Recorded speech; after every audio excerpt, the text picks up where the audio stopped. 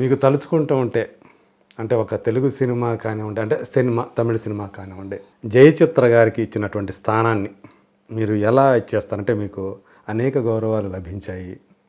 అన్- అనేక సంస్థలు మిమ్మల్ని ఇప్పుడు ఇక్కడైతే గవర్నమెంటే కళాయిమయమాని ఇచ్చింది. అక్కడ మీకు నంది అవార్డు ఇచ్చారు. హీరోయిన్గా కాకపోయినా రాజేశ్వరి కళ్యాణంలో మీ నటనకి ఇచ్చారు. అట్లాగే కళాజ్యోతి లాంటి బిరుదులు మిమ్మల్ని వరించాయి. ఇవన్నీ తలుచుకుంటుంటే ఏమనిపిస్తుంటుంది మీకు? నా travel in the film industry is great అని అనుకుంటాను నేను. నేను అనుకోవాలా ఇంత పెద్ద అచీవ్మెంట్ నాకు వస్తుంది అని నేను కల్లో కూడా అనుకోవాలా మ్మ్. I was sincere to my art dedicated to my art involved in my art దానికి తగిన ఫలితం భగవంతుడు నాకు ఇచ్చాడు. ఆ గౌరవం ఇవాళ కూడా నేను బయటికి వెళ్ళి మా వాళ్ళతో కలుసుకుని సినిమాలు యాక్ట్ చేస్తే ఇప్పుడు పొన్నియన్ సెల్వన్ చేసినట్టు. అలాగే తూచుతారండి నన్ను. అలాగా గౌరవిస్తారండి. ఇవాళ same respect I'm receiving today అంటే okay. My involvement to the industry. Hmm. And ఎంత అభిమానం నా మీద పెట్టుకున్నారు. ఆవిడ సినిమా ఆ రోల్ చేసిందంటే it is success. She does justice to that Mani Ratnam garu పిలిచి మళ్ళీ ఆ రాయల్టీ లుక్ కావాలి మాకు. అందులో కూడా చెప్తారు కదా కొడుకు అదే చెప్తారు కదా నాన్న ఇచ్చిన దానం చేసిన దాన్ని ఎలా తీసుకుంటారు ఎస్. కానీ తెలుగులో మీ వాయిస్ లేదు. అదే నేను బాధపడ్డాను. మ్మ్.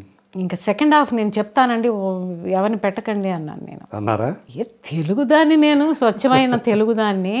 మ్మ్. అప్పటికి చెప్పాను నేను వాళ్ళకి ఆ మధ్యలో కమ్యూనికేషన్ ప్రొడక్షన్లో తప్పైపోయింది.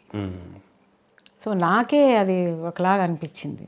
కానీ ఇప్పుడు తెలుగు సినిమాల్లో మీకు ఆఫర్లు రా వస్తున్నాయా మీకు? నిన్న మా బాబుని ఎవరో అప్రోచ్ చేశారంట అమ్మ కావాలి మాకు అని. అవునా? సో మీరు వచ్చి సబ్జెక్ట్ చెప్పండి అమ్మకి నచ్చితే డెఫినెట్గా చేసి పెడతారని చెప్పారు. ఎంతకాలం అయింది మీరు తెలుగు సినిమా చేసి? లాస్ట్ తెలుగు సినిమాగా గుర్తుందా మీకు? సంవత్సరాలు అయిపోయింది కదా? సంవత్సరాలు అయిపోయి చాలా సంవత్సరాలు అయిపోయింది. సో ఇప్పుడు మళ్ళీ అంటే పొనియన్ సెలవులో చూసిన తర్వాత నేను అనుకోవడం మళ్ళీ ఇది ఈ పిలుపులు అనేవి రావటం మొదలవుతాయి ఓకే తమిళ్ళో మళ్ళీ నన్ను పెట్టి ఒక సబ్జెక్ట్ ఒక ప్రొడ్యూసర్స్ వచ్చారు. So that is going to be something Big చాలా yeah big in the sense human rights గురించిను elderly people rights గురించిను అండ్ లేడీస్ సబ్జెక్టు చాలా బాగా స్క్రీన్ ప్లే వస్తూ ఉంది. మ్మ్. నా కోసమనే రాస్తున్నారు వాళ్ళు. మీరే జస్టిస్ చేయగలరని చేసి పెడతాను నేను అని చెప్పాను. Okay. It's very good subject. Jayachitra గారికి గర్వం అనేది ఉందా? గర్వం లేదండి. ఎవరు ఒక ఒక హీరోయిన్ అంటే మీకు జూనియర్ ఒక ఆమె జయచిత్ర గారు నన్ను అట్టన్నారు ఇట్టన్నారని ఆ మధ్య ఒకటి వచ్చింది. ఎవరు? అంటే మీరు యాక్ట్ చేసే టైంలో ఇప్పుడు కాదు. చాలా వస్తాయండి అవన్నీ పట్టించుకునేది ఎలాగా. కవిత కవిత లిమిటేషన్ ఉండేది. కవిత గారు అన్నట్టుగా నేను చూశాను. Such junior to me. అదే నేను జూనియర్ అని నన్ను ర్యాగింగ్ చేసేది అని వాళ్ళకగా ఒక ఫీలింగ్స్ తెచ్చేసుకుంటారు. అది వచ్చిందా. మీకు ఇది ఇది మీ నాకు వచ్చిందా? రాలేదా. నేను అది పట్టించుకోలేడానికి టైం కూడా లేదు. సో వాళ్ళు కూడా సరదాగానే చెప్పినట్టు నా లెవెల్కి రాకపోతే వాళ్ళు అలా ఊహించేసుకుంటున్నారు. నువ్వు రా ఎవరు వద్దన్నారు? నేను వద్దన్నానా. సో మీరు మీరు కల్పించుకుంటే నేనేం చేయను? దానికి అది ఆలోచించడానికి కూడా టైం లేదు నాకు. గర్వం అనేది నాకు ఎప్పుడు లేదు. మాట్లాడ బాగా మాట్లాడతాను. చంటి పిల్లలాగా మాట్లాడతాను. బట్ నాకున్న రెస్పాన్సిబిలిటీ ఇటు వెళ్తే ఈ పేపర్ ఇచ్చేస్తారు. అటు వెళ్తే బాలచంద్ర గారు ఆ పేపర్ ఇచ్చేస్తారు. ఇటు వెళ్తే నారాయణరావు గారు దాసులు గారు ఈ పేపర్ ఇచ్చేస్తారు. నాకు ఆ పేపర్లోనే కాన్సన్ట్రేషన్. ఎక్కువ ఫిలిం వేస్ట్ చేయకూడదు టైం వేస్ట్ చేయకూడదు నెక్స్ట్కి వెళ్ళిపోవాలా. అది అందరూ అలాగ అనుకునేవాళ్ళు. వాళ్ళు ఎక్కువ మాట్లాడాలని ఆశ నాకో నా స్క్రిప్ట్తో నాకు ఆశ. సో నేనేం చేయను. మీకు తెలుగులో బాగా ఇష్టమైన సినిమాలు అంటే నాకు బాగా ఇష్టమైన దాంట్లో ఒకటి ఉంది. మీ మీ టైటిల్ మీదే కల్పన. ఇప్పటికీ అక్కడేమో అనామిక అది. అనామిక జయబాదురి జయబాదురి గారు చేసిన క్యారెక్టర్. ఇక్కడ మీరు అందులో ఆ వేటూరావు గారి రాసినటువంటి పాటలు ఉన్నాయి కదా కల్పన దిక్కులు చూడకు రమ్మయ్య ఏం పాటలు చాలా గొప్ప పాటలు. రాఘవేంద్ర గారి డైరెక్షన్ రాఘవేంద్ర గారు.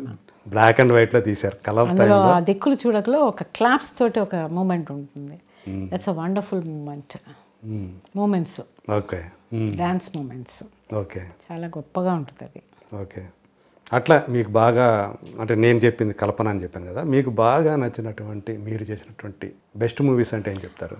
చాలా అండి. షోక్గాడ్ వెరీ షోక్గాడ్ ఇట్ సెల్ఫ్ ఇన్నోసెంట్ క్యారెక్టర్ సావాసగాళ్ళు అది ఒక చలాకే క్యారెక్టర్. యవ్వనం కాటిస్తుంది చాలా సీరియస్. బాప్నీడ్ గారు ఓ మై గాడ్ ఆంధ్రప్రభ గారు మురళీమోహన్. ఇంత పెద్ద పెద్ద పేజ్లో నా ఒక ఫోటో మాత్రమే వచ్చేది అప్పుడు. It's wonderful publicity for me మర్చిపోలేనది. ఆ తర్వాత మీరు చెప్పినట్టు కట్టకటాల రుద్రయ్య కల్పన అబ్బాయి గారు మీకు అంటే మీ మీకు వచ్చినవన్నీ కూడా మీరు నాయకగా చేసేటప్పుడు వచ్చినవన్నీ కూడా మీ మనసుకు నచ్చినవే ఉంటాయి. గరానా బుల్లోడు. కరానా అప్లోడ్ చేశారు. నాగార్జున గారు. అవును. మళ్ళీ రాఘవేంద్ర గారి డైరెక్షన్. అది పెద్ద హిట్ సో సో ఇప్పుడు తెలుగు సినిమా చూస్తూ ఉంటే నేషనల్ వైడ్గా చాలా మంచి పేరు తెలుగు సినిమాకు వచ్చింది. అంటే ప్యాన్ ఇండియా దాటిపోయి ప్యాన్ ఇంటర్నేషనల్ కూడా వెళ్తుంది. ఎస్ టెక్నికల్గా చాలా డెవలప్ ఇప్పుడు హ్యాపీగా అనిపిస్తుంటుంది మన తెలుగు సినిమా ఇండస్ట్రీ. చాలా మంచి పేరు. డైరెక్టర్లు చాలా చాలా హ్యాపీ కొత్త సినిమాలని చూస్తే స్టన్ అయిపోతున్నాను నేను. ఆ డ్యాన్సులు కానీ పాటలు కానీ స్టంట్స్ కానీ సీన్లు కానీ డైలాగ్స్ కానీ అన్ని కట్ షార్ట్ డైలాగ్స్ స్పీడ్ అంత heroes speed very nice improvement very good technology ఇప్పుడు వాళ్ళు మీరు బాగా మీకు నచ్చే వాళ్ళు ఎవరు అందరండి.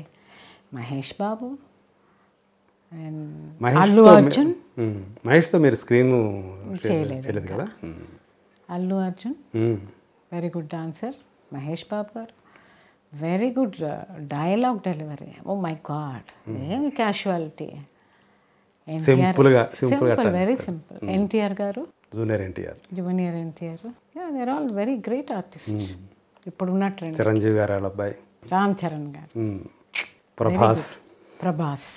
అంటే వీళ్ళందరూ కూడా వాళ్ళ యొక్క లెగసీని వాళ్ళ ఫాదర్స్ కానివ్వండి వాళ్ళు లెగసీని కంటిన్యూ కంటిన్యూ చేస్తున్నారు అది. సో ఏదైనా టాలెంట్ ఉంటే తప్ప కొంతమంది ఏంటంటే ఈ మధ్య వచ్చింది కదా. అంటే పేర్లు చెప్పుకొని అట్లా వారసులుగా పేరు చెప్పుకొని వస్తున్నారు. బయట వాళ్ళకి ఛాన్సులు అనేవి తక్కువ అయిపోతున్నాయి అనేది ఒక మాటగా వస్తూ ఉంది.